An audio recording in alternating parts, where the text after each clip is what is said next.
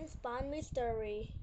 Written by Susan Markowitz Meredith, illustrated by Lenny Stem. It is Saturday morning.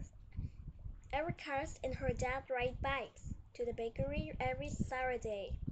Erica always get a hot cinnamon bun. Bye, Mom, Erica says as she runs out the door. See you later, Mom says. Erica just waits at the end of the road drive with his bike. Erica jumps on her bike, and they ride to the bakery. When they get there, Erica parks her bikes. She runs inside and says, I have my usual, Mr. Hoffman. I'm so sorry, the barker says. A lady just bought all the cinnamon buns. Erica runs out of the bakery Dad, someone bought all the cinnamon buns, she explained. A lady with a bag, big bag just came out of the bakery, says Dad. She was wearing a polka dot dress, says another man. Does anyone know where she went? asked Erica. I saw her go down the street on a black scooter, said the boy. Erica and her dad ride after the lady on their bikes. Soon they ride past a woman on the sidewalk. Erica asks, Did you see a lady in a polka dot dress?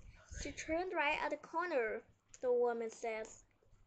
Erica and her dad turn right at the corner. They see a black scooter in front of the art center. They parked their bike next to it. They go inside and see a bag on the table. That looks like a bag from the bakery. Erica says. I think you're right, says Dad. The bag is empty. We have to use our noses to find the cinnamon bun. Dad says Erica smelled the smell of cinnamon coming from around down the hall. Erica walks into the room. Hello, Erica, says Mr. Garcia the art center teachers. Have you seen to the cinnamon bun? She says.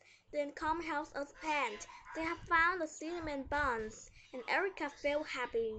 Glossary Baker, a person who bakes bread, pastry, or cakes. Bakery, a place that makes the sell bread, pastries, or cakes. Cinnamon bun, a snail-shaped pastry flavored with cinnamon and coated with a sugar glaze. Scooter, a motorized vehicle having two or three wheels, similar to a child scooter, but having a seat. Usual, something that common of a habit of an individual.